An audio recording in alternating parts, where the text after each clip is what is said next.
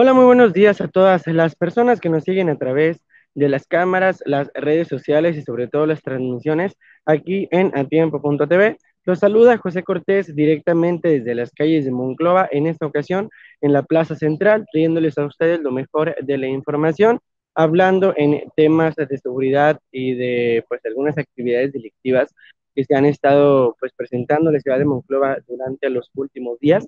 Platicamos con Raúl Alcocer, quien es el director de seguridad pública aquí en el municipio, acerca de pues los incidentes y sobre todo reportes que se han estado levantando tanto en redes sociales así como en eh, pues los eh, diferentes departamentos de policía municipal aquí en Monclova.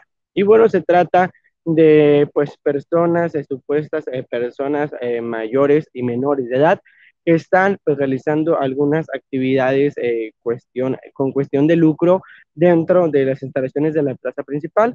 Algunas de las que han sido reportadas pues son ventas de rifa y rascaditos en los que bueno se oferta de pues poder tener la posibilidad de ganar pues un poco de dinero y bueno claramente comprándoles un boleto.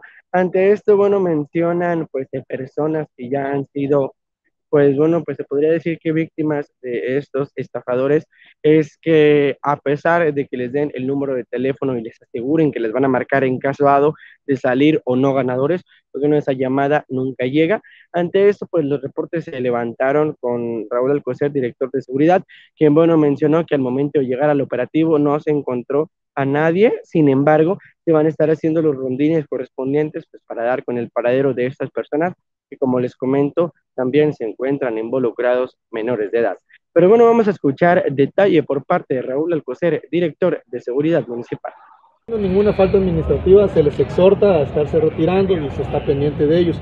Quienes ya incurren en alguna falta porque empiezan a agredir a otro, empiezan a empujarse, insultar o faltar el respeto, ya cometen una falta administrativa y se les lleva detenidos.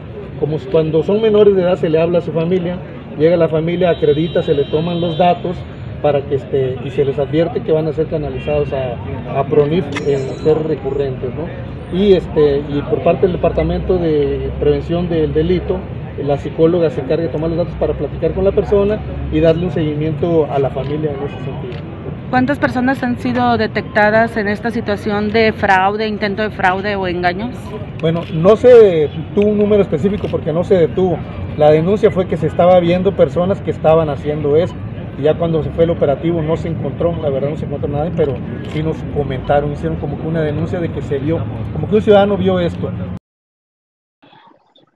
El eh, director Raúl Alcocer eh, mencionó que para el caso de los menores que hayan que sean sorprendidos pues con estas actividades eh, ilícitas y de lucro, que pues el PRONIF ya está enterado de estas acciones y bueno, para poder tener pues actividades correspondientes y darles el seguimiento, ya que las personas menores de edad que sean sorprendidas pues realizando estas actividades van a ser pues enviadas ahí y sobre todo que pues los psicólogos están listos para tratar de hablar con estas personas. De acuerdo pues a Raúl Alcocer, se va a seguir haciendo los rondines, se van a estar pues siguiendo levantando los reportes para estas actividades que se han estado realizando durante estos últimos días, en donde, bueno, el, el motivo y el principal objetivo es pues lucrar con el dinero de las personas. Hasta aquí la información al momento. Yo les recuerdo, mi nombre es José Cortés. Transmito desde Monclova, teniéndoles a ustedes lo mejor de la información. 844-300-9898. Nuestro número de atención ciudadana para que ahí deposite su denuncia en temas de limpieza, bacheo, alumbrado y seguridad para que sea transmitida por nosotros y atendida por el ayuntamiento. Hasta aquí la información y recuerden que en atiempo.tv estamos para apoyar.